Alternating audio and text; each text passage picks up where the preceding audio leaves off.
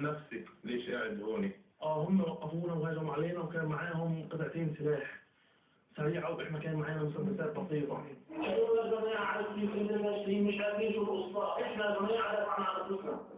إحنا جماعة دفعنا على اولا. طبعا هم اللي فكروا بالتأثير، وإحنا لما فكروا زي ضغط عليهم. برينا لهم دي باستهال الخلق زي اسفوكوا خلق بيتاخون بشيطة. בשני החיילים תהילה גם נעמה אוחיון שסיפרה כיצד המחבלים היו הראשונים לפתוח באש